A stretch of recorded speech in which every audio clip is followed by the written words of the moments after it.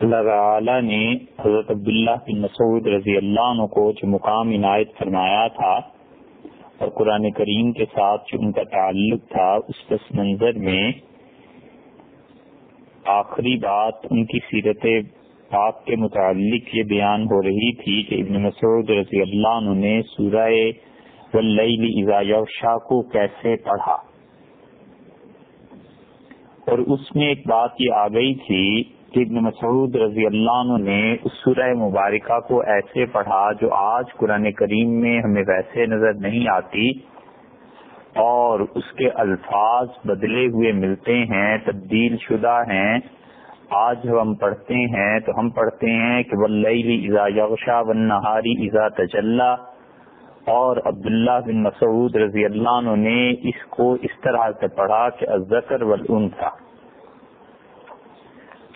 تو یہ جو اصولی بات چل پڑی تھی، بلکہ ان کی بات تو ایک تھی، اس سے ہم نے ایک اصول کی بحث شروع کی کہ کیا قرآن کریم جو ہم تک پہنچا ہے وہ محفوظ ہے، کیا قرآن بدلا ہوا ہے، اور قرآن کریم میں یہ بانوے نمبر جو صورت ہے، سورہ اللہ تسا تیسویں پارے میں پائی جاتی ہے۔ اس میں کیا تغیر اور تبدل واقع ہوا ہے؟ اور پھر ایک بہت بڑا سوال یہ اٹھتا تھا اس پر، اور وہی سوال کہ قرآن کریم کی تبدیلی کی روایات آخر اس کے کیا معنی ہیں جو ہمارے ہاں اعلیٰ درجے کی حدیث کی کتابوں سے ثابت ہیں۔ اچھی طرح سے یہ یقین ہے کہ اس اتنے بڑے سوال کو سن کے لوگوں کی اور سامعین کی کیفیت یہ ہو جائے گی یا ہو گئی ہے کہ جسے اردو میں شاید مناسب لفظ نہ مل سکے اس کے ترجمے کا، فی الحال تو معلوم نہیں ہے، جسے انگلش میں کہتے ہیں کہ شاک اینڈ وہ وہ کیفیت جو پیدا ہو جاتی ہے اور وہ جھٹکا جو لگتا ہے تو وہ شاک اینڈ کی کیفیت پیدا ہو گئی کہ آخر یہ مسئلہ کیا ہے؟ صحیح بخاری کی روایات میں بھی آیا، ابن ماجہ کی روایات میں بھی آیا اور اور تو اور یہ بھی آ گیا کہ قرآن کریم سیدنا عثمان رضی اللہ عنہ نے معاذ اللہ چلا دیا تھا اور حضرت عائشہ رضی اللہ عنہ کے ہاں تو اتنی زیادہ تھی بات کہ وہ بکری کھا گئی تھی باقی چیزیں۔ تو یہ سب کی سب باتیں آخر کیا ہیں؟ تو اس کا جو جواب اساتذہ ہمارے فرماتے تھے اور جو کچھ تھوڑا بہت دیکھنے سے سمجھ میں آیا، وہ آپ کی خدمت میں پیش کرتے ہیں۔ اس کا یہ مطلب نہیں ہے کہ قرآن کریم میں اور جو بھی لوگ اس کو مانتے ہیں یا جو نہیں مانتے، جو اس کے منکر ہیں، کافر ہیں اور جو اس کو ماننے والے مسلمان ہیں اس میں ہم اس جواب کے ذریعے سے کوئی اکویلیبریم پیدا کرنے کی کوشش کر رہے ہیں، بلکہ اصل بات یہ ہے کہ ان آیات کو بھی آپ سامنے رکھیے، وہ جو احادیث تھی ان کو بھی آپ سامنے رکھیے، اور آج اللہ کی توفیق سے جو ہم اس کے بیان کر رہے ہیں کہ اس کی اصل حقیقت کیا ہے، اس کو بھی اپنی جگہ پر ہر چیز کو اپنے سانچے میں فٹ کر کے دیکھیے۔ تو وہ جو انگلش کا ایک محاورہ ہے کہ everything falls into place انشاءاللہ وہ بات سامنے آ جانی چاہیے۔ تو اللہ کی دی توفیق سے یہ بات اس طرح سے ہے، ایک اصول کی باتیں اب سمجھنی چاہیے۔ سات چیزیں اس میں ہم نے بیان کرنی ہے انشاءاللہ، اور اللہ تعالیٰ توفیق دے گا تو ان ساتوں میں سے ایک نہ ایک چیز ضرور اس پر صادق آئے گی کہ قرآن کریم میں آخر یہ اختلافات اور یہ تبدیلیاں اور اس کی تعریف ولی اللہ اس کا اصل قصہ کیا ہے؟ پہلے پارے میں، سورہ بقرہ میں ایک سو چھ نمبر اور ایک سو سات نمبر کی آیت اگر آپ پڑھیں تو اللہ تعالیٰ نے اس میں فرمایا ہے کہ ماں ننسخ من آیتن اور قرآن کریم کی کوئی بھی آیت جو ہم منسوخ کر دیتے ہیں۔ اور یا ہم اسے بھلا دیتے ہیں، ناتی بخیر منہا۔ تو ہم اس سے بہتر آیت قرآن میں لے آتے ہیں اور مسلحہ یا قرآن سے ان کی اس آیت سے ملتی جلتی کوئی اور آیت لے آتے ہیں۔ علم تعلم ان اللہ علی کل شعین قدیر۔ اے مخاطب، کیا تجھ کو معلوم نہیں ہے کہ اللہ ہر چیز پر قادر ہے؟ علم تعلم ان اللہ له ملک السماوات والارض۔ اور کیا تم کو معلوم نہیں ہے کہ اللہ ہی کے لیے سلطنت ہے آسمان کی، آسمانوں کی اور زمین کی؟ ومالکم من دون اللہ۔ اور تم کو اللہ تعالی کے علاوہ ولی ولا نصیر، کوئی مدد کرنے والا نہیں ملے گا اور کوئی حمایتی نہیں ملے گا۔ یہ آیت کریمہ نازل اس لیے ہوئی کہ یہودیوں نے رسول اللہ صلی اللہ علیہ وسلم پر اعتراضات جو کیے تھے مدینہ منورہ میں، ان میں سے ایک اعتراض یہ تھا کہ انہوں نے کہا، لو، یہ بھی تمہارے عجیب نبی علیہ صلاح وسلام ہے ایک دن کوئی حکم دیتا ہے، پھر کچھ دن کے بعد اس حکم کو بدل دیتا ہے۔ تو تمہاری کتابوں میں بعض آیات منسوخ ہو جاتی ہیں، بعض حکم پہلے آتے ہیں، پھر بعض والے حکم پہلے حکموں کو بدل دیتے ہیں۔ تو اللہ کی طرف سے اگر تمہاری کتاب ہے، تو خدا کو کیا اس میں سوجی تھی کہ پہلا حکم اس نے منسوخ کر دیا اور دوسرا جاری کر دیا؟ تو اللہ تعالیٰ نے اس آیت کریمہ کے ذریعے ان کا جواب دیا۔ حضرت شاہ القادر صاحب محبت ریڈوی رحمۃ اللہ علیہ نے اس آیت کے ضمن میں اس آیت کے ساتھ جو حاشیہ لکھا ہے، اس میں انہوں نے اسی چیز کا ذکر کیا ہے کہ یہودیوں نے یہ تانے دیے اور یہودیوں کے ہاں اصل میں ایک اور مرض تھا اور وہ مرض یہ تھا کہ وہ اللہ کے متعلق فلسفے سے متاثر ہو کر اور اس فلسفے کا، اس بات کا تفصیلی تذکرہ فلسفے کے بیان میں گزر چکا کہ ان کا اللہ کے متعلق فلسفے کے سے متاثر ہو کر یہ عقیدہ تھا ولی اللہ کہ اللہ تعالیٰ بہت سی چیزوں کو نہیں جانتا۔ اور کائنات میں جب تبدیلی واقع ہوتی ہے تو خدا کو پتا چلتا ہے کہ اب کیا چیز ہو گئی۔ یہ وہ عقیدہ تھا یہودیوں کا۔ تو اس لیے اللہ کو اس طرح وہ عیب کی طرف نسبت کرتے تھے، اب انہوں نے اپنا وہی فلسفہ یہاں بھی چلانا شروع کیا اور انہوں نے کہا تمہارا خدا تو کبھی تمہیں ایک حکم دیتا ہے، پھر اس کے بعد وہ دوسرا حکم دیتا ہے، تو اس کا مطلب یہ ہے کہ پہلے وہ بھول گیا تھا۔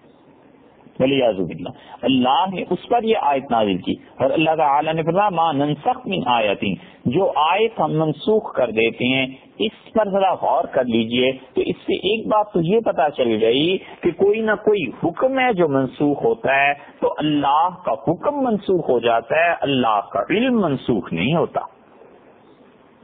لکھا آپ نے؟ اللہ نے فرمایا کہ ہم کسی چیز کو جب منسوخ کرتے ہیں اس کا مطلب یہ ہے کینسلیشن اللہ جب کسی حکم کو کینسل کرتے ہیں، ایک بات تو یہ پتا چل گئی، تو اللہ کا علم کینسل نہیں ہوتا۔ اللہ کا حکم منسوخ ہوتا ہے، خدا کا حکم کینسل ہو جاتا ہے۔ اللہ تعالیٰ نے حکم دیا کہ بیت المقدس کی طرف منہ کر کے نماز پڑھو۔ اور پھر اللہ تعالیٰ نے دوسرا حکم بھیج دیا اور کیا فرما دیا؟ فرما دیا، دوسری بات، دوسری تو قرآن کریم میں واضح طور پر آ گئی اور پہلی حدیث میں آئی ہے۔ اللہ نے فرما دیا کہ ولو وجوہ حکم اپنے چہروں کو پھیر لو، کدھر؟ کابت اللہ کدھر؟ تو پہلا حکم دیا کہ شام کی طرف، بیت المقدس کی طرف میں کر کے نماز پڑھو۔ اس کو کینسل کر دیا دوسرے حکم کے ذریعے۔ تو معلوم ہوا کہ مسئلہ حکم کینسل ہوتا ہے، علم منسوخ نہیں ہوتا۔ اللہ کے علم میں تھا کہ حضرت علیہ صلاح والسلام کی پرورش فرعون کے گھر میں ہوئی تھی۔ اللہ تعالیٰ نے اسی کو قرآن میں بیان کیا اور اب بھی اللہ کے علم میں ہے۔ اللہ کا علم تو جب منسوخ ہو اور خدا پر جھوٹ کی تومت ولی اللہ اس وقت لگے جب اللہ تعالیٰ یہ کہہ دیتے کہ موسا علیہ السلاۃ والسلام اپنی والدہ کے گھر میں انہوں نے پرورش پائی۔ اور پھر کچھ عرصے بعد وہی آتی کہ نہیں نہیں، اپنی والدہ کے گھر میں نہیں، بلکہ فرعون کے محل میں پرورش پائی۔ تو اب فرق سمجھیے اس کا۔ علم کا منسوخ ہونا ایک الگ چیز ہے۔ اگر علم کا نسخ مان لیں تو خدا کے لیے جھوٹ لازم آتا ہے۔ اور تعال اللہ کا اللہ کی ذات پاک بہت برتر، بلند، اعلیٰ، عرفہ ہے۔ اس سے کہ اپنے بندوں کے ساتھ کوئی جھوٹ بولے۔ تو اللہ کا علم منسوخ نہیں ہوتا۔ اللہ تعالیٰ نے بتایا کہ آد اور سمود کو ہم نے عذاب دیا۔ اور پھر کچھ دنوں کے بعد ایک آیت نازل ہو جائے کہ آد اور سمود ہمارے بڑے مبارک بندے تھے ولی حضب اللہ یہ نہیں ہے۔ اس لیے یہودیوں کا اعتراض سطحی تھا۔ تو اللہ تعالیٰ نے بتایا کہ ہم منسوخ کرتے ہیں کسی آیت کو۔ استعمال ہوا کہ نسخ واقع ہوگا اس وقت جب حکم آئے گا۔ تو حکم کے بعد اسے کینسل کر دیا۔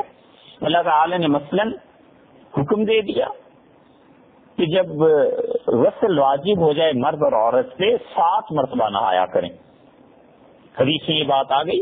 نبی کریم صلی اللہ علیہ وسلم بار بار درخواست کرتے رہے کہ اللہ اس اس, اس بات کو بدل دیں۔ اللہ اپنی اس حکم کو تبدیل فرما دیں۔ حتیٰ کہ وہ تین مرتبہ نہا لیا کریں۔ پھر رسول اللہ صلی اللہ علیہ وسلم درخواست پیش کرتے رہے۔ جہاں تک کہ حکومت چلو ایک مرتبہ نہانے سے مرد اور عورت پاک ہو جائیں گے۔ یہ ہے حکم جو منسوخ ہوتا ہے اور پھر اس کے بعد دوسرا حکم نازل ہو جاتا ہے آگے چلتی اللہ نے فرمایا او ننسیحا یا ہم اسے بھلا دیں۔ تو اس سے معلوم ہوا کہ قرآن کریم کے احکامات ناسخ اور منسوخ کی بحث چلے گی۔ حکم منسوخ بھی ہوں گے اور کنسلیشن ہوتی رہے گی، لیکن کب تک ہوتی رہے گی؟ جب تک وہ ہستی زندہ ہے جس پر قرآن نازل ہوتا ہے۔ جب وہ نہیں رہے گی تو پھر تو کسی حکم کے کینسل ہونے کا سوال ہی پیدا نہیں ہوتا۔ یہ کیسے ممکن ہے؟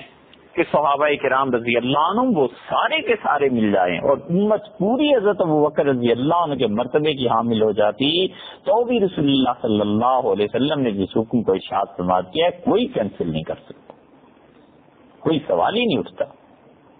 یہ بات صرف رسول اللہ صلی اللہ علیہ وسلم کی زندگی تک تھی، کیونکہ حکم تو ان پہ نازل ہوتے تھے، وہی تو ان پہ نازل ہوتی تھی۔ آگے فرما دیا انہوں سے اس کو دیکھ لیجیے۔ کہ ہم کوئی آئے جو بھلا دیں۔ اس کا مطلب یہ ہے کہ یہ بھی رسول اللہ صلی اللہ علیہ وسلم ہی کی حیات تھے یہ بات تک ہو سکتا ہے کہ اللہ انہیں بھلا دے۔ یہ کیسے ہو سکتا تھا کہ نبی کریم صلی اللہ علیہ وسلم کے انتقال کے وقت صحابہ رضی اللہ عنہ میں ایک لاکھ سے زیادہ افراد موجود تھے، تو ہر ایک کو بہت سے حافظ تھے، بہت سے حافظ نہیں بھی تھے، لیکن کچھ نہ کچھ تو قرآن آتا تھا۔ تو یہ کیسے ممکن تھا کہ ایک آیت مثلا سورہ کو اللہ ہے، یہ سب کوئی بھلا دی جاتی؟ ایسے نہیں ہوا۔ عملاً ایسے نہیں ہوا۔ کوئی ایک حرف اور ایک لفظ ایسا نہیں ہے جو رسول اللہ صلی اللہ علیہ وسلم نے امت کے لیے چھوڑا ہو اور اس کے بعد وہ لوگوں کو بلا دیا گیا ہو۔ ایسے نہیں ہوا۔ یہ بھولنا بھی رسول اللہ صلی اللہ علیہ وسلم کی زندگی میں ہی ہوا ہے کہ اللہ نے بھلا دیا۔ اب اللہ تعالیٰ نے کیوں بھلا دیا؟ اللہ نے حکم کو کیوں تبدیل کر دیا؟ تو آپ دیکھیے، حکمت ہے خدا کی۔ ایک وقت تک ایک حکم ہے، اس کے بعد اسے اٹھا لیا۔ ایک وقت تک بس اجازت تھی کہ تم لوگ ٹھیک ہے، شراب پی لو۔ اس لیے اللہ نے ابھی کوئی حکم نازل نہیں کیا۔ یہ نہیں ہے کہ رسول اللہ صلی اللہ علیہ وسلم نے اجازت دی تھی، بلکہ وہ شروع سے چلی آتی تھی بس۔ اللہ نے ایک موقع پہ روک دیا۔ اس سے بھی زیادہ واضح مثال اس کی دے رہے وہ یہ ہے کہ اللہ تعالیٰ نے ایک ایک حکم دیا کہ بیت المقدس کی طرف منہ کر کے نماز پڑھو۔ اگرچہ یہ احکامات حدیث سے ثابت ہوتے ہیں، لیکن ظاہر ہے کہ رسول اللہ صلی اللہ علیہ وسلم اتنا بڑا فیصلہ تنہا اپنی رائے سے کیسے کر سکتے تھے؟ اب اللہ تعالیٰ نے بہتر سمجھا، مناسب سمجھا کہ اب انہیں بیت المقدس سے بیت اللہ کی طرف پھیر دیا جائے۔ لہذا حکم بدل گیا۔ تو یہ ناسخ اور منسوخ کا سلسلہ ہوا۔ اور ان ہاں یہ ہم اسے بھلا دیں۔ یہ بھلانے کا سلسلہ بھی ہوا ہے۔ مثالیں اس کی آتی ہیں۔ نہ کہ خیر منہا۔ اللہ نے فرمایا، ہم اس سے اچھا حکم تمہیں دے دیں گے۔ اور مسلحہ یا کم سے کم اس کے برابر کا حکم تمہیں دیں گے۔ اب سوال یہ پیدا ہوتا ہے کہ پہلے ہی دن کیوں نہیں حکم آ گیا تھا؟ یہ یہودیوں کا اعتراض تھا۔ اللہ تعالیٰ نے اس کی حکمت بیان کرنے کے بجائے یہاں پر حاکمیت سے کام لیا ہے۔ اور کہا علم تعالم اللہ علیہ شعین قدیر۔ تمہیں معلوم نہیں ہے، اللہ ہر چیز پر قدرت رکھتا ہے۔ جو چاہے اپنے بندوں پر حکم صادر فرمائے، جب چاہے اپنے ایک حکم کو منسوخ کر کے دوسرا حکم لے آئے، جب چاہے قرآن کریم کی کوئی چیز نازل کرے اور اس کو منسوخ کر دے یا بھلا دے۔ تو اس آیت سے یہ پتا چلا کہ قرآن کریم میں دو چیزیں نبی کریم صلی اللہ علیہ وسلم کی زندگی میں ہوئی ہیں۔ ایک آیات کا منسوخ ہونا اور دوسرے اس کا بھلایا جانا۔ علم تعلم اللہ السماوات والارض؟ دوسرا جواب دیا، یہ بھی حاکمانہ جواب ہے۔ اللہ تعالیٰ نے فرمایا، تمہیں معلوم نہیں ہے کہ آسمانوں میں اور زمین میں میری بادشاہت ہے؟ تم کون ہوتے ہو بھائی پوچھنے والے؟ تمہیں اعتراض کا کیا حق حاصل ہے؟ ہم مالک، دنیا ساری مخلوق ہمارے بندے ہم جو چاہیں حکم دیا کریں ولا نصیر۔ اور مسلمانوں گھبراؤ بھی نہیں، اللہ کے علاوہ کوئی حمایتی مددگار نہیں۔ یہودی جو چاہیں اعتراض کرتے رہیں، تمہارا کچھ نہیں بگاڑ سکیں گے، تمہارے دین میں کوئی خلل واقع نہیں ہو سکے گا۔ یہ دو چیزیں جو اللہ نے اس آیت میں کہی ہیں نا، ایک تنسیخ کنسلیشن منسوخ کرنا، اور ایک بھلا دینا۔ منسیحا نسیان. یہ دونوں چیزوں کو ذہن میں رکھیے اور اللہ نے اسی چیز کو قرآن کریم میں کئی جگہ پر بیان کیا۔ یہ سورہ بکرا کی آیت تھی۔ آپ دیکھ لیجیے پندرہویں پارے میں، سورہ بنی اسرائیل میں۔ اللہ تعالیٰ نے وہاں چھیاسی نمبر آیت میں فرمایا ہے۔ اللہ نے فرمایا بلا ان اور اے اگر ہمارے نبی صلی اللہ علیہ وسلم، اگر ہم چاہیں لنظہبن بالذی اوحینا الیک تو وہ وہی جو ہم نے آپ کو دی ہے، یہ واپس لے جائیں۔ اس آیت کی تشریح تو ابھی عرض کرتے ہیں، مگر ایک بات خیال کرنی چاہیے، کتنی کتنی زبردست اللہ تعالیٰ کی بے نیازی کا بیان ہے کہ وہ وہی جو ہم نے آپ پر کیا ہے، قرآن جو ہم نے آپ کو دیا ہے، جب ہم چاہیں واپس لے لیں، کون روک سکتا ہے؟ یہ اللہ کی بے نیازی ہے۔ اللہ تعالیٰ نے اسی لیے رسول اللہ صلی اللہ علیہ وسلم کو دوسری جگہ بھی اسی سورہ مبارکہ میں فرمایا ہے۔ کہ اللہ تعالیٰ نے فرمایا کا اور یہ مشرق یہ تو آپ کو آپ کو ہٹانے والے تھے اس چیز سے جو ہم نے آپ کی طرف وہی کیا لینا غیر تاکہ آپ ہم پر بھی کوئی الزام لگا دیں۔ خزو کا خلیلا اور اگر ایسے ہو جاتا کہ آپ ان کی طرف جھک جاتے، ان کی بات مان لیتے، تو وہ آپ کو اپنا دوست بنا لیتے۔ انسبتنا کا اور اگر اے ہمارے نبی صلی اللہ علیہ وسلم، ہم آپ کو قائم نہ رکھتے۔ اس وحی پر لفت ترکن شعین قبیلا تو آپ تھوڑا سا تو ادھر جھکی جاتے۔ یہ آیات بتاتی ہیں کہ علم، ایمان سب اللہ کی توفیق سے۔ وہ چاہے تو ایک منٹ میں علم واپس لے لے، کیا ناز کرنے کا موقع ہے؟ اور کیا اپنے آپ کو عالم اور اپنے آپ کو مومن کہنے کا کہنے کا موقع ہے؟ سب اس کی عنایت، سب اس کی توفیق ہے۔ ایک منٹ میں علم واپس ہو جائے اور ایمان واپس ہو جائے، کورے کا کورا ہو جائے۔ اور اگر ہم چاہیں تو وہ وحی جو ہم نے آپ پر نازل کی ہے، اس ساری وحی کو واپس دے جائیں۔ ثم لا تجد لك به علينا وکیلا اور پھر کسی شخص کو آپ نہیں پائیں گے جو ہم پر دعویٰ کر سکے، جو کوئی ذمہ لینے والا ہو، ذمہ داری لینے والا ہو۔ اس کا مطلب ہے پورا قرآن اگر اللہ چاہتا تو واپس لیتا، نہیں لیا اللہ رحمت ربک۔ مگر تیرے پروردگار کی مہربانی ہے ان فضل کا نا علیہ کا کبیرہ اور اللہ کا فضل، اللہ کا احسان، اس کی بخششیں، اس کی مہربانیاں اے محمد صلی اللہ علیہ وسلم آپ کے حال پر بہت زیادہ ہیں، بہت بڑی مہربانی ہے اس کی آپ کے ساتھ۔ تو رسول اللہ صلی اللہ علیہ وسلم سے اللہ تعالیٰ نے فرمایا، ہم سارا قرآن اگر واپس لینا چاہیں تو کون روک سکتا ہے؟ سوال یہ پیدا ہوتا ہے کہ لیا کیوں نہیں؟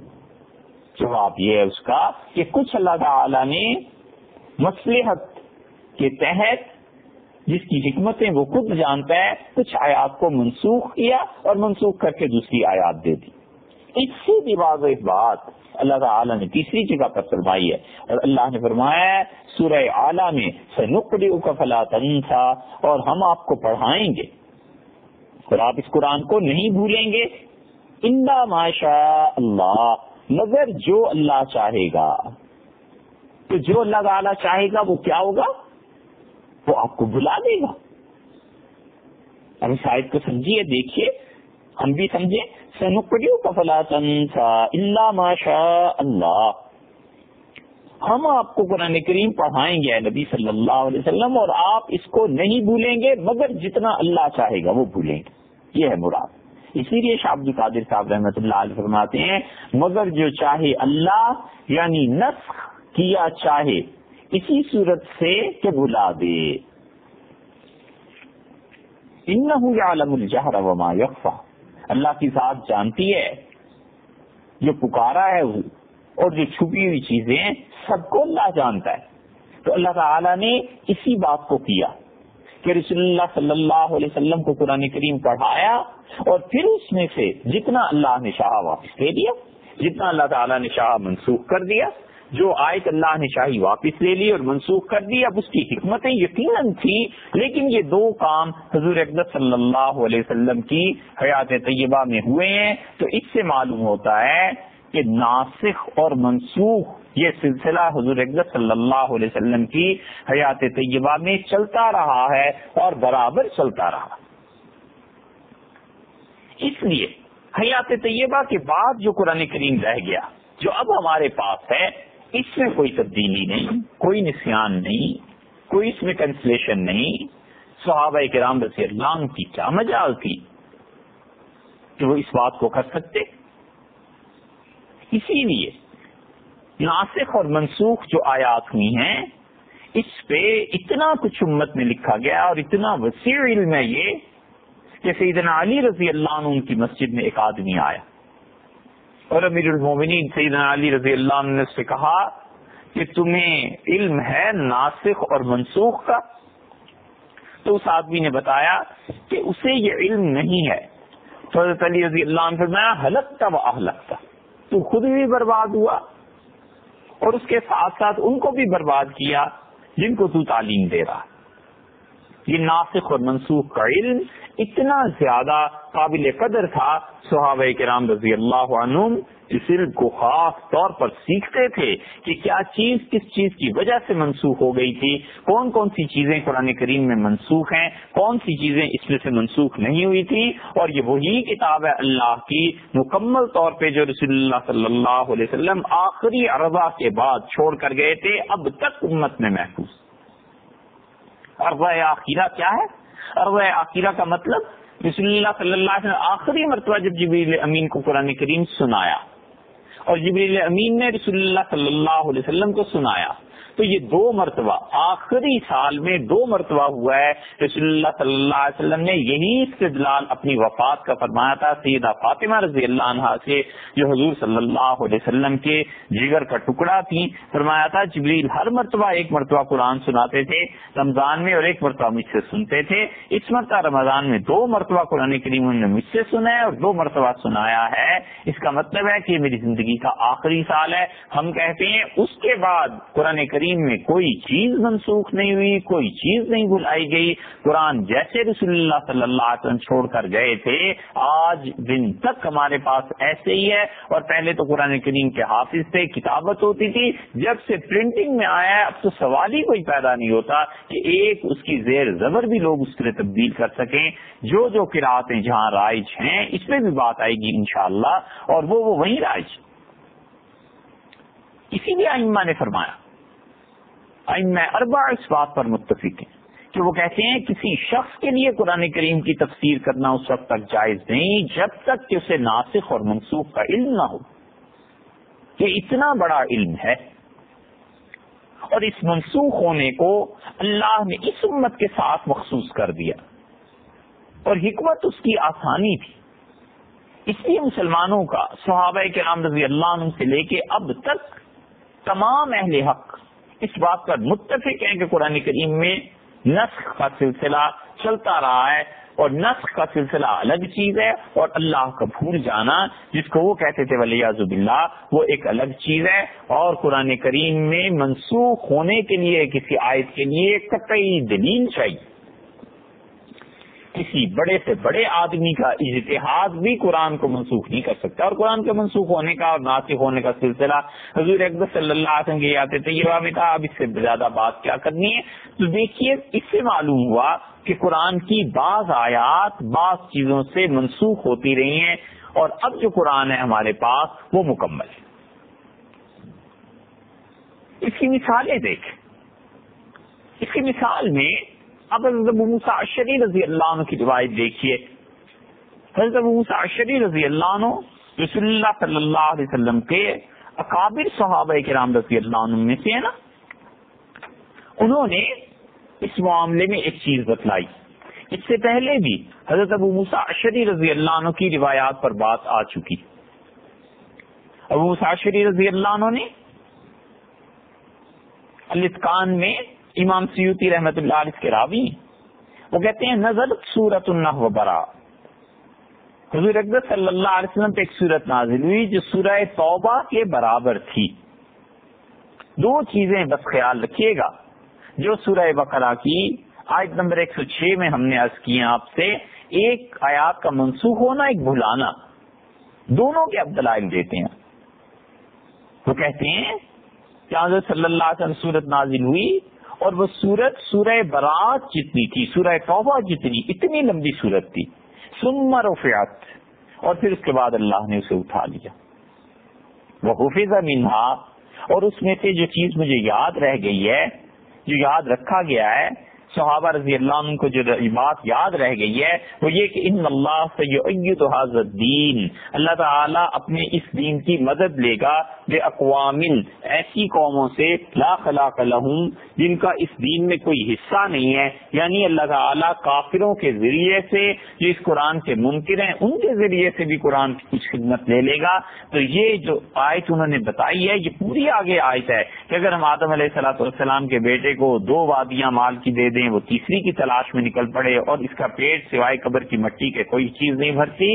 یتوب اللہ علیہ منتاب اور جو اللہ سے توبہ کرے، خدا اس کی توبہ کو قبول فرماتے ہیں۔ یہ باتیں ساری انہیں یاد رہ گئی ہیں۔ ایک آیت پوری کی پوری یا دو یا تین آیات یاد رہ گئی، لیکن اب اوسا شریف رضی اللہ عنہ کہتے ہیں کہ وہ ساری صورت اٹھا لی گئی۔ یہ ہے مثال منسوخ ہو جانے کی، ختم ہو جانے کی۔ اور اسی لیے اس کا عنوان منسوخ ہونے کی جو تین قسمیں ہیں، آج پہلی قسم پہ ہم بات کر رہے ہیں، وہ یہ کہ جس کی، جس جن آیات کی تلاوت بھی اللہ نے اٹھا لی اور جن کا حکم بھی اللہ نے اٹھا لیا۔ دونوں چیزیں اٹھ گئی نہ حکم باقی رہا اور نہ ہی تلاوت باقی رہی۔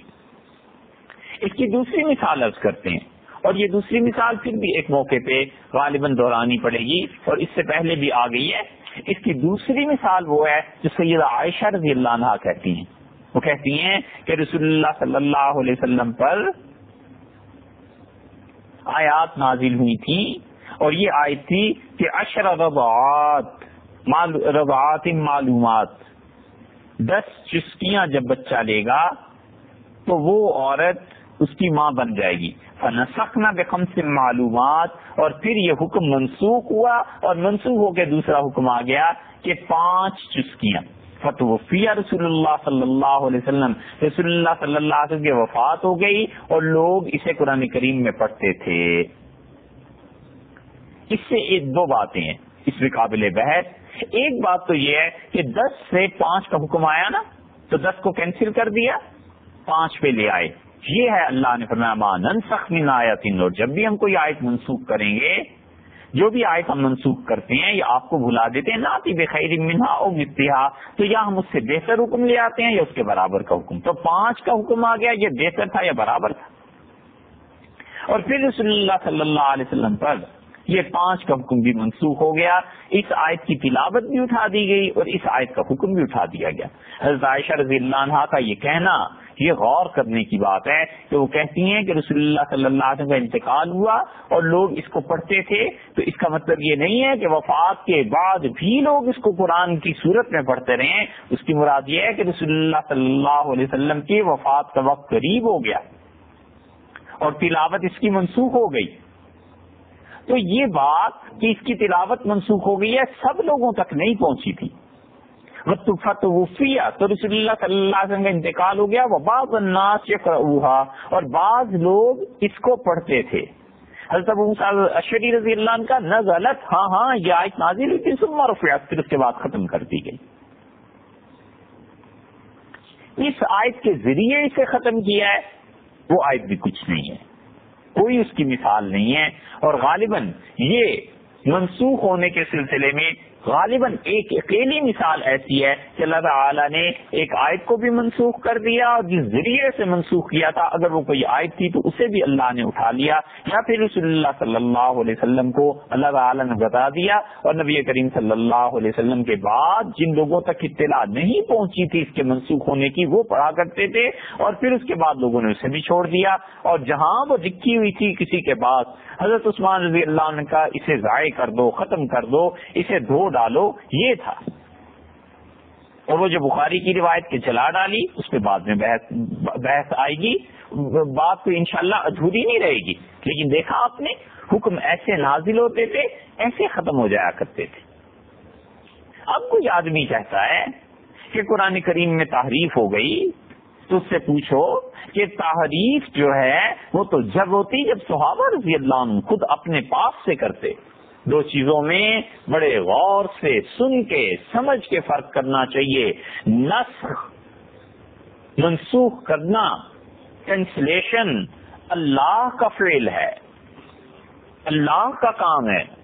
اور تحریف، یہ صحابہ کرام رضی اللہ عنہ کر سکتے تھے، یہ انسانوں کا کام ہوتا اگر وہ کرتے۔ ہمیں دلیل اس کی چاہیے کہ صحابہ رضی اللہ عنہ نے تعریف کی ہے۔ اور وہ قیامت تک نہیں مل سکتی۔ سوال ہی پیدا نہیں ہوتا۔ پورے یقین اعتماد کے ساتھ کہتے ہیں کہ سو سال بعد بھی کوئی اس کی دلیل لے آؤ، صحابہ رضی اللہ عنہ نے کسی چیز میں تعریف کی ہو۔ نسخ، اس کو تو سب مانتے ہیں۔ یہ اللہ کا فعل ہے۔ تو تحریف تو تب ہوتی جب سیدنا عثمان رضی اللہ عنہ نے خود سے کوئی کام کیا ہوتا۔ نسخ ایک الگ چیز ہے۔ تحریف ایک الگ چیز ہے۔ سمجھے آپ؟ دونوں میں فرق ہے۔ تحریف انسانوں کا فعل ہے۔ اور انسانوں میں سب سے پہلے صحابہ کرام رضی اللہ عنہ اس قرآن کے وارث اور امین تھے۔ انہوں نے تو وہ کیسے تعریف کر سکتے تھے؟ ولی اللہ وہ تو پھر مسلمان ہی نہ رہتے۔ اب تک اگر کوئی آدمی اس بات کا قائل ہے کہ قرآن کریم میں تحریف ہوئی ہے یا قرآن کریم محرف ہے، بدل دیا گیا ہے، تو وہ کفر کا ارتکاب کرتا ہے، یہ اتنی بڑی چیز ہے۔ تو ایک مثال اس کی آگے۔ ابو مساشری رضی اللہ عنہ کی، کہ انہوں نے کیا کہا کہ سورہ توبہ جتنی صورت نازل ہوئی تھی، اور پھر اس کے بعد اس صورت کو منسوخ کر دیا گیا۔ اللہ تعالی نے اٹھا لیا۔ دوسری مثال حضرت عائشہ رضی اللہ عنہ کی آ گئی۔ ام المومنین رضی اللہ عنہ یہ فرماتی ہیں کہ دس پہ پانچ پہ آئے اور پانچ چسکیوں کے بعد یہ حکم ہی ختم ہو گیا۔ اور صحابہ کرام رضی اللہ عنہ میں جس تک اطلاع نہیں پہنچی تھی، ایک لاکھ سے زیادہ آدمی تھے۔ تو وہ لوگ پڑھا کرتے تھے۔ مگر جب قرآن کریم سامنے آیا اور یہ آیت ختم ہو گئی تو وقت کے ساتھ ساتھ وہ باتیں بھول گئی اس کی ایک اور مثال دیتے ہیں۔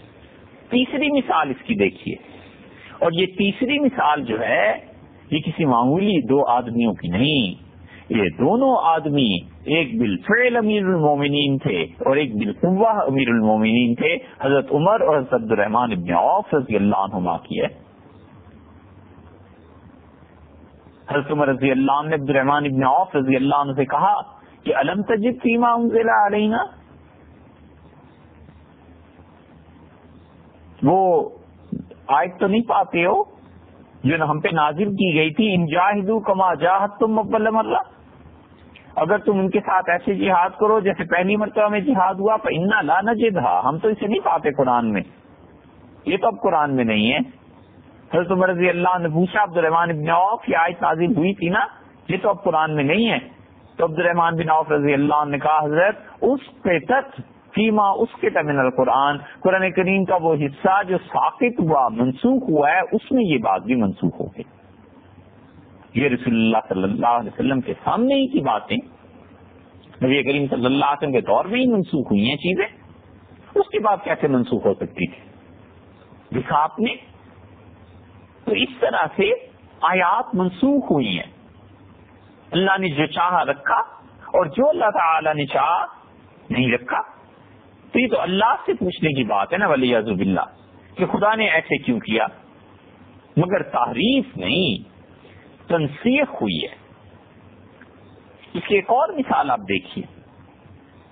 اور وہ مثال وہ ہے جو حضرت انس رضی اللہ عنہ کی روایت میں آتی ہے۔ اور حضرت انس رضی اللہ عنہ کی روایت میں آتا ہے، اور یہ صحیح بخاری، مسلم وغیرہ کی بھی کی روایات میں بھی آتا ہے۔ بالکل ٹھیک صحیح احادیث میں بخاری اور مسلم کی روایات میں آتا ہے۔ رضی اللہ عنہ نے کہا کہ بیر معونہ میں کچھ لوگ شہید کر دیے گئے۔ قصہ مختصر سے الفاظ میں یہ کہ صحابہ کرام رضی اللہ عنہ کی ایک جماعت کو رسول اللہ صلی اللہ علیہ وسلم نے بھیجا، دین کی تبلیغ کے لیے۔ اور مشرقین انہیں اپنے ساتھ لے گئے دعوت دے کے۔ اور انہوں نے اس مقام پہ پہنچ کے انہیں شہید کر دیا۔ تو حضرت رضی اللہ عنہ کہتے ہیں کہ نزل فیہم قرآن۔ قرآن اس پہ نازل ہوا۔ ستر کے قریب صحابہ رضی اللہ عنہ شہید کر دیے گئے اور رسول اللہ صلی اللہ علیہ وسلم کو ان کی مفارقت، ان کی شہادت اور ان کی جدائی کا داغ دیکھنا پڑا۔ اور نبی کریم صلی اللہ علیہ وسلم طبیعت مبارکہ پہ اتنا اثر تھا کہ دعائیں فرماتے رہے، ہاتھ اٹھا اٹھا کے ان کے لیے، جنہوں نے ان صحابہ کرام رضی اللہ عنہ کا خون بہایا تھا۔ حضرت امام شافی رحمت اللہ علیہ، کسی نے پوچھا صحابہ کرام رضی اللہ عنہ کے متعلق، تو انہوں نے کہا، میں ان کے زمانے میں نہیں تھا۔ اور اللہ نے میرے ہاتھوں کو اس سے محفوظ رکھا کہ میں ان میں سے کسی کو قتل کر کے اس کے خون سے اپنے ہاتھ رنگ لیتا۔ تو اب میں کہتا ہوں، میری زبان بھی ان کو ان کی معائب ان کی برائیوں میں نہ پڑے۔ اللہ میری زبان کو بھی محفوظ ہی رکھے صحابہ کرام رضی اللہ عنہ سے۔ دونوں چیزوں سے نہ ان کے خون میں ہاتھ رنگے نہ ان کی زبان نہ نہ, نہ زبان کے ذریعے ان کی غیبت کریں۔ ایسے ایسے صحابہ کرام رضی اللہ عنہ کے مقامات کو سمجھنے والے اور ان کے ساتھ محبت کرنے والے لوگ تھے۔ یہ ستر بہتر لوگ جب شہید ہو گئے تو رسول اللہ صلی اللہ علیہ وسلم کو بہت شدید اس کا صدمہ پہنچا۔ اللہ نے اس میں قرآن کو نازل کیا۔ انس رضی اللہ عنہ کہتے ہیں، نزل قرآن، اور اس میں قرآن کریم نازل کیا گیا۔ کیا نازل کیا گیا؟ انا کو منا وہ تمہارے دوست، اللہ تعالیٰ نے فرمایا، ہمارے پاس پہنچ کے کہتے ہیں کہ اے اللہ ہمارا یہ پیغام ہمارے دوستوں تک پہنچا دے دنیا میں۔ انا لقینا ربنا۔ ہم نے اپنے پروردگار سے ملاقات کی۔ رضی انا اللہ ہم سے خوش ہے۔ فرغانہ اور اللہ نے ہمیں بھی خوش کر دیا۔ اللہ تعالیٰ ہم سے راضی ہے اور ہم اللہ سے خوش ہیں۔ وہ ہم سے خوش ہوا اور اس کے بعد ہمیں اس نے راضی بھی کیا۔ ہم بھی اس سے خوش ہو گئے۔ اتنی خوشی کی زندگی ہے یہاں کی۔ یہ اب قرآن میں ہے کہ انس رضی اللہ نے کہا کہا انہوں نے فرمایا کرا نہ ہوں ہم نے اس قرآن کو پڑھا تھا، اس ان آیات کو حتہ رفیا یہاں تک کہ اللہ نے ان آیات کو واپس لے لیا، منسوخ کر دیا۔ دیکھا آپ نے؟ یہ ہے نسخ۔ اور یہ نسخ کی پہلی قسم ہے کہ اللہ تعالیٰ نے تلاوت بھی اٹھا لی۔ اور اگر کوئی حکم تھا اس میں تو حکم کو بھی اٹھا لیا۔ اور حکم کے معاملے میں وہ سیدہ عائشہ رضی اللہ عنہ کی مثال بہت واضح مثال ہے کہ اس میں حکم بھی اٹھ گیا اور اس کی، اس کے ساتھ ساتھ تلاوت بھی اٹھ گئی۔ دوسری بات جو اللہ تعالیٰ نے یہاں فرمائی تھی، اس آیت میں ایک اردو سے یہ ہم اسے بلا دیں، یہ بھی رسول اللہ صلی اللہ علیہ وسلم کی حیات طیبہ نہیں ہوا ہے۔ ان کے وفات، ان کے دنیا سے حجاب فرمانے سے پہلے کے قصے اور دیکھیے اب اس کی مثالیں کتنی آپ کو مل جائیں گی۔ جتنی مثالیں چاہیں، اتنی مثالیں مل جائیں گی کہ قرآن کریم میں یہ چیز بھی ہوئی ہے۔ سنکڑوں کا فلا تنسا اللہ ماشا اللہ مگر جو اللہ چاہے گا وہ آپ نہیں بھولیں گے۔ باقی اللہ تعالی نے بھلا دیا جو چاہ۔ اور بھلانے کی مثال اس میں، اس مثال میں اب عبارت دیکھیں۔ اور یہ نقل کی ہے بہت لوگوں نے۔ ایک کتاب لکھی ہے نواسخ القرآن۔ قرآن کریم میں جو نسخ کی بحث ہے یہ۔ اور یہ لکھنے والے ابن جوزی ہیں۔ اور ابن جوزی رحمت اللہ علیہ روایات کے معاملے میں اتنے سخت ہیں۔ اتنے سخت ہیں کہ محدثین نے پناہ مانگی ہے کہ بھئی اس کی جرا سے خدا محفوظ رکھے۔ مراد ان کی یہ ہے۔ اور حتیٰ کہ صحیح بخاری اور صحیح مسلم ان کی جرا سے نہیں بچ سکی۔ ابن جوزی رحمت اللہ علیہ اتنے زیادہ شدید نقد تنقید کرتے ہیں۔ اور ابن جوزی رحمت اللہ علیہ کی جو تنقید ہے وہ بہت سے محدثین قبول بھی نہیں کرتے۔ ان میں شدت بہت ہے بھائی۔ تو اس آدمی کے ہاں سے جو روایات آئیں گی، آپ خود سوچ لیں وہ کتنی قابل اعتماد ہوں گی۔ بے شمار لوگوں نے قرآن کریم کے ناسک اور منسوخ پہ بحث کی ہے۔ قاسم بن سلام کی کتاب مل جائے گی، ابو دعود سجستانی رحمت اللہ علیہ کی۔ ابو جعفر نحاس ہیں، ابن لمباری ہیں، مکی ہیں، ابن عربی ہیں، یہ ابن جوزی ہیں، رحمت اللہ علیہ یہ تو دو چار کتابیں ذکر کی، بیس یوں کتابیں مل جائیں گی۔ یہ خود اپنی کتاب جو انہوں نے لکھی ہے نواسف القرآن کے نام سے، اب وہ چھپ گئی ہے ناسک القرآن و منسوخ ہو۔ دار الثقافہ والوں نے چھاپی ہے یہ پورے حوالے اس لیے دے رہے ہیں کہ کسی کو شبہ نہ رہے۔ ایسے نہ ہو کہ کل اٹھنے والا یہ کہے کہ پتہ نہیں یہ روایات کہاں ہیں، یہ سب کچھ ہے، بات صرف پڑھنے کی ہے۔ اور وہ بڑا مشکل کام ہے، وہ نہیں پڑھتے۔ ابن جوزی رحمت اللہ علیہ اس حدیث کو لائے ہیں۔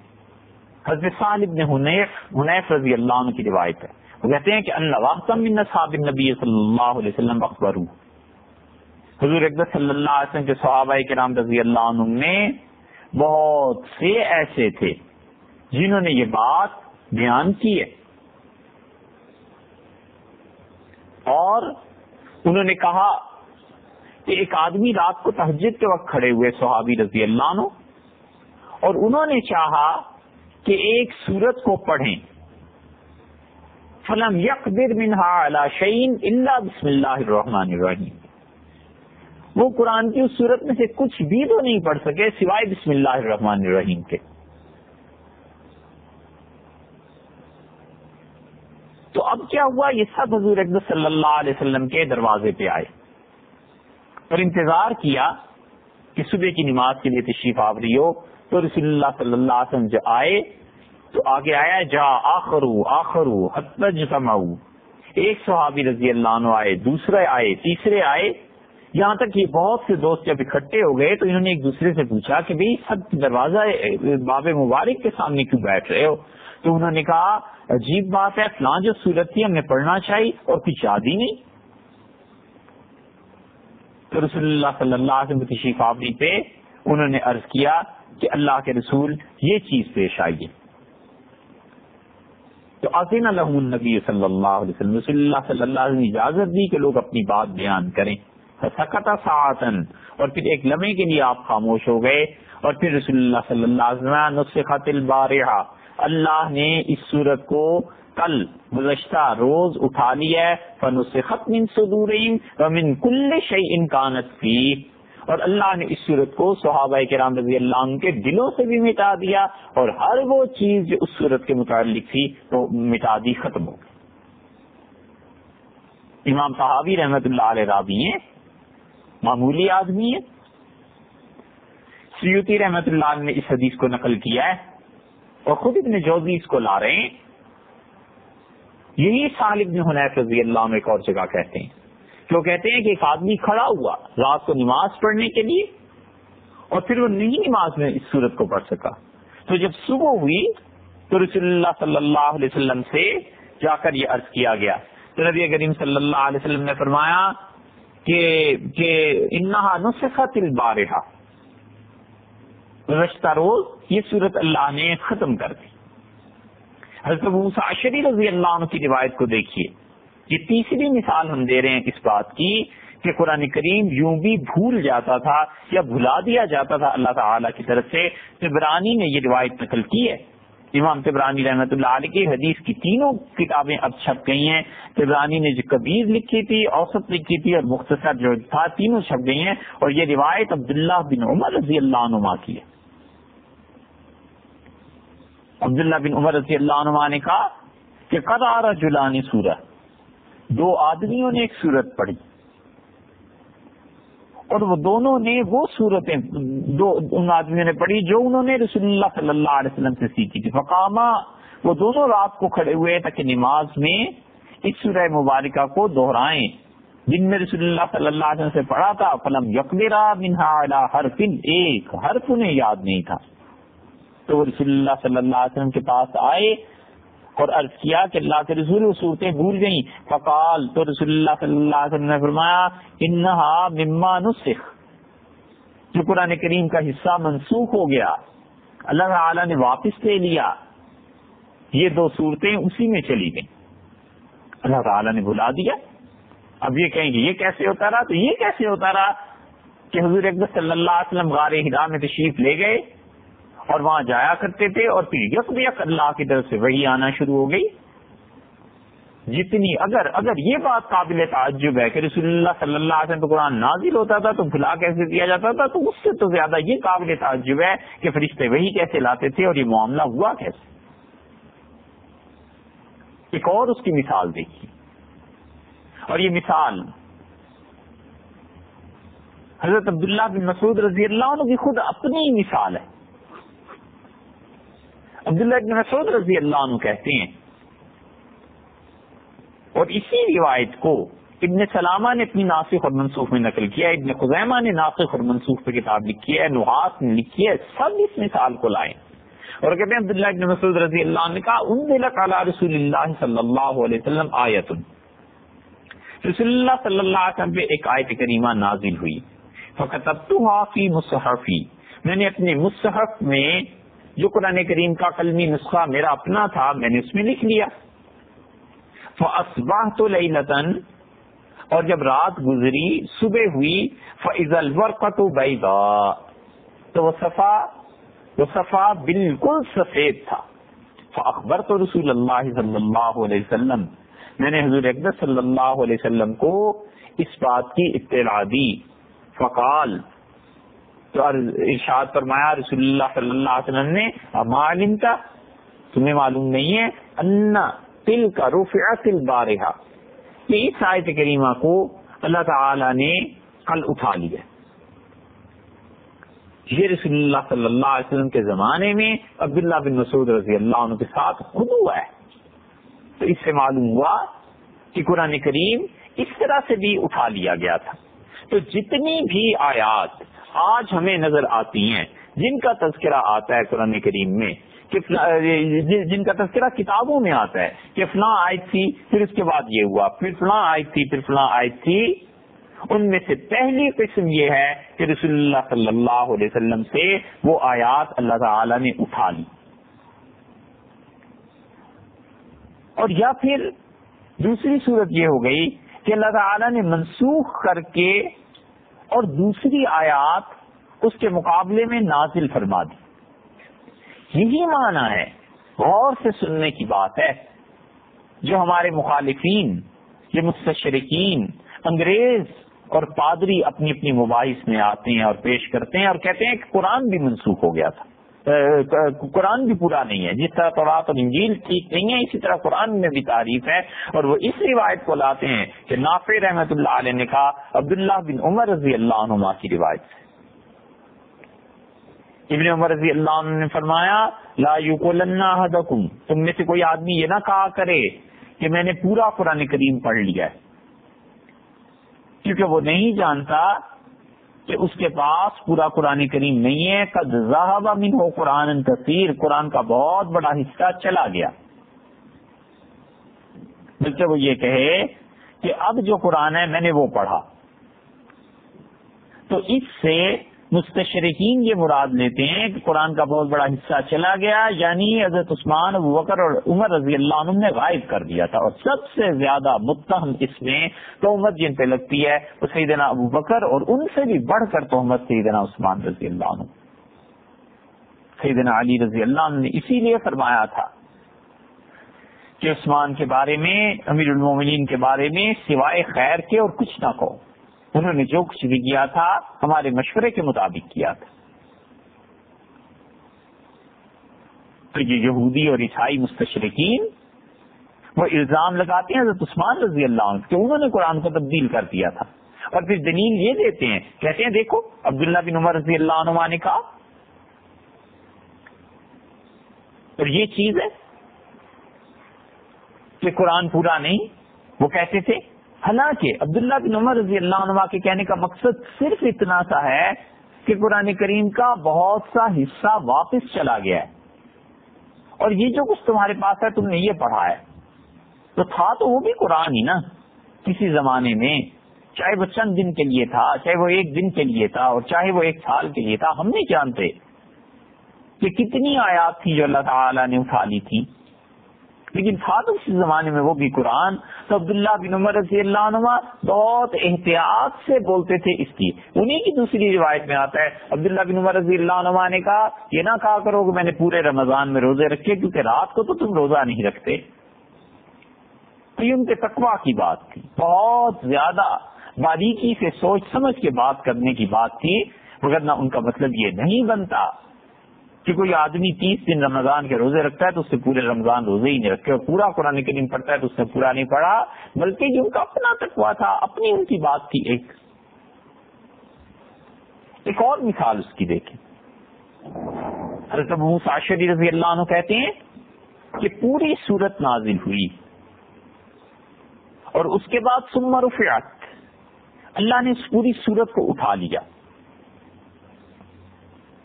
حضرت موساشری رضی اللہ عنہ کی روایت ابن ابی حاتم نے نقل کی ہے۔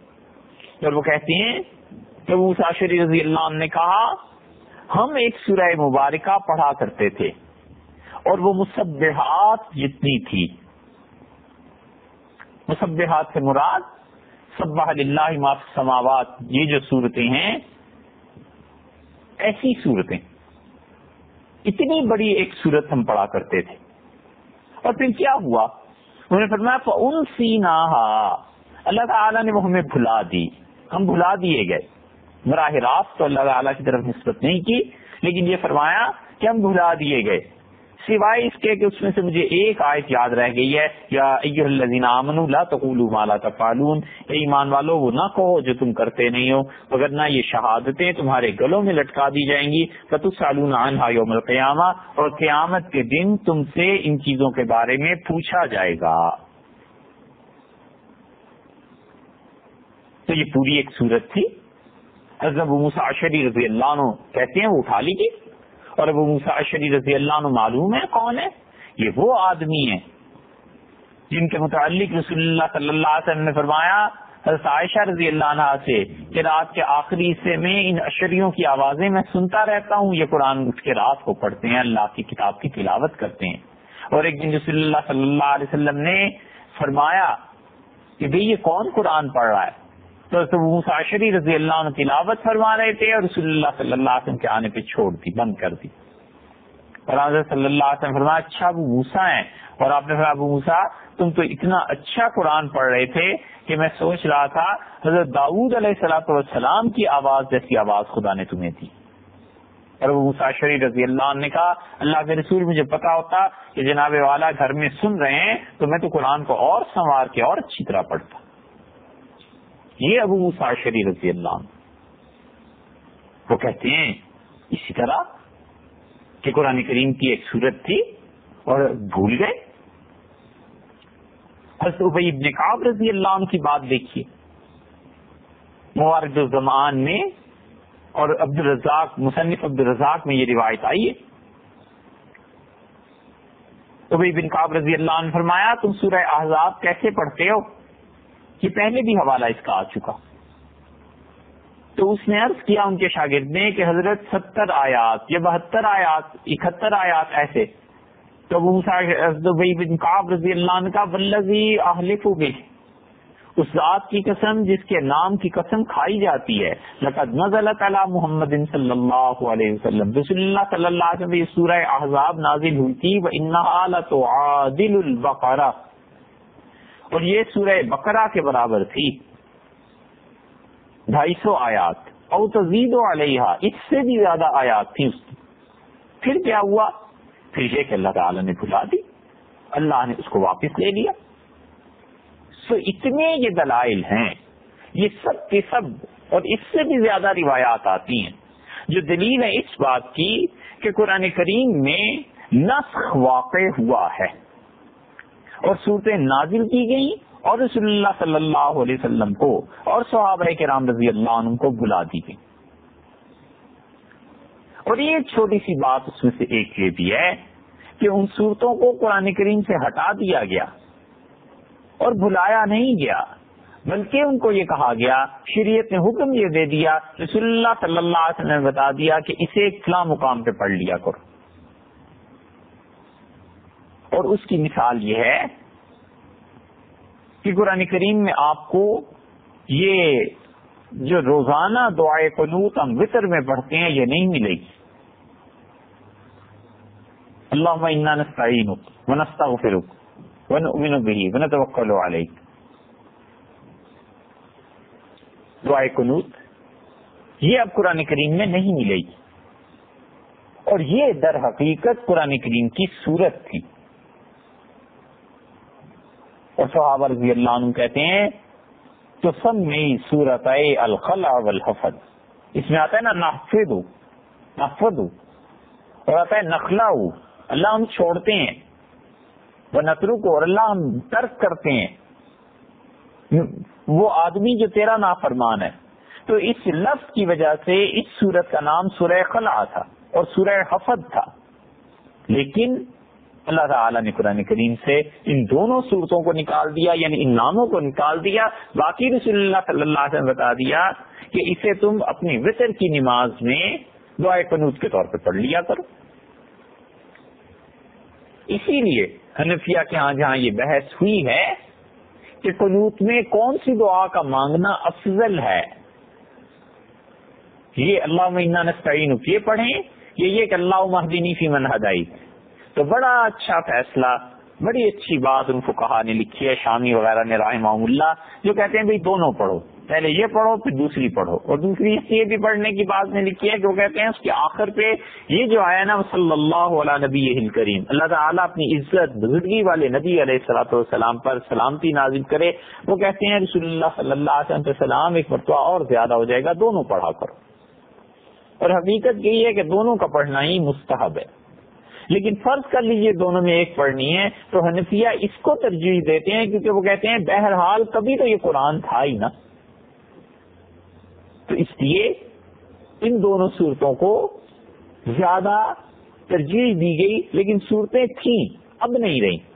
اور یہ وہ چیز ہے جس پر بحث کی جائے تو کئی مہینے شاید درکار ہوں جی ابو حنیفہ رحمۃ اللہ علیہ بنیادی طور پر قرآن کریم میں اور حضور اقدس صلی اللہ علیہ وسلم کی احادیث میں فرق کیا کرتے تھے۔ قرآن کریم کو بہرحال ترجیح حاصل ہے، لیکن اس کا مطلب یہ نہیں ہے کہ احادیث کا درجہ کچھ کم ہے۔ حضور اقدس صلی اللہ علیہ وسلم کی احادیث کا اپنا مقام ہے، مگر قرآن کریم بہرحال اس سے اعلیٰ درجے کی چیز ہے۔ اور اسی لیے ساری امت اس بات کو کہتی ہے جو امام سیوتی رحمت اللہ علیہ نے الفقان فی علوم القرآن میں لکھا ہے۔ وہ کہتے ہیں کہ یہ جائز ہی نہیں ہے کہ نسخین من القرآن، قرآن کریم میں کوئی چیز بھی منسوخ ہو بعد وفات نبی صلی اللہ علیہ وسلم۔ رسول اللہ صلی اللہ علیہ وسلم کی وفات کے بعد قرآن میں کوئی چیز ایسی نہیں ہے جو منسوخ ہو سکے۔ ختم ہو گئی بات۔ تو معلوم ہوا، اتنی ساری مثالوں سے اللہ تعالیٰ نے جو کہا تھا کہ ہم چاہیں تو آپ کو کوئی چیز بلا دیں گے، اور اللہ تعالیٰ جب کسی آیت کو منسوخ کرتا ہے یا بھلا دیتا ہے تو اس کے برابر یا اس ایسی چیز لاتا ہے، یہ دونوں چیزیں رسول اللہ صلی اللہ علیہ وسلم کی حیات طیبہ میں ہوئی ہیں۔ اللہ تعالیٰ نے آیات کو بلایا بھی ہے اور اللہ تعالیٰ نے احکامات کو تبدیل بھی فرمایا۔ تو یہ دلیل ہے اس بات کی کہ جتنے لوگ صحابہ کرام رضی اللہ عنہ میں سے یہ کہتے ہیں کہ یہ آیت تھی، یہ آیت تھی، یہ آیت تھی، ان کی مراد یہ ہے کہ وہ آیات نازل ہوئی تھی۔ اور پھر اس کے بعد اللہ تعالیٰ نے ان کی تلاوت بھی واپس لے لی، حکم بھی واپس لے لیا۔ یہ ناسک اور منسوخ کے سلسلے میں پہلی بحث تھی۔ اور اس طرح کی سات مباحث ابھی باقی ہیں، چھ باقی ہیں انشاءاللہ، وہ بھی اپنے اپنے وقت پہ بیان کریں گے تاکہ اس سوال کا قطعی طور پر جواب ملے کہ اب جو قرآن ہمارے پاس ہے، اس میں کوئی تحریف نہیں ہوئی۔ پھر کہتے ہیں کہ ناسخ اور منسوخ اور تنسیخ اور کینسلیشن یہ اللہ کا فیل تھا، اللہ نے کیا ہے۔ اور تحریف یہ لوگوں کا فیل ہے لوگوں میں اگر کوئی کر سکتا تھا تو صحابہ کرام رضی اللہ عنہ کر سکتے تھے، اور انہوں نے قطعا یہ خیانت نہیں کی جو لوگ سیدنا عثمان رضی اللہ عنہ کو اس معاملے میں تہمت لگاتے ہیں، کہتے ہیں، انہیں یہ حدیث بھی سن لینی چاہیے۔ سیدنا عثمان رضی اللہ عنہ میر المومنین تھے، خلیفہ راشد تھے۔ اور ترمزی کی روایت میں آیا ہے ایک آدمی کا جنازہ لایا گیا اور رسول اللہ صلی اللہ علیہ وسلم نے جنازہ پڑھانے سے انکار فرما دیا۔ یہ چونکہ بالکل معمول مبارک کے خلاف بات تھی، صحابہ کرام رضی اللہ عنہ کہتے ہیں، اس کے بعد ہم نے عرض کیا کہ اللہ کے رسول آپ نے اس کا جنازہ نہیں پڑھا۔ تو رسول اللہ صلی اللہ علیہ وسلم تمہیں پتا نہیں ہے، یہ عثمان کو برا کہتا تھا۔